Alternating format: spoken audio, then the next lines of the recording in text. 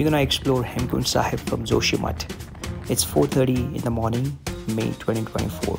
Our helicopter is here. Engines fired, parameters checked, and here we are in the air. That's Lakshman Ganga River. Then it's a horse ride of 6 kilometers, walk of 2 kilometers, and we are in the Heman. That's a beautiful lake. Well, don't miss the waterfall and the natural beauty. Thank you.